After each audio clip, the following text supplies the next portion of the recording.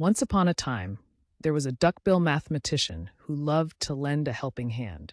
He learned that by doing chores and working together with his friends and family, they could keep their home clean and cozy. Duckbill Mathematician discovered that cooperation and responsibility are important values that bring joy and satisfaction to everyone.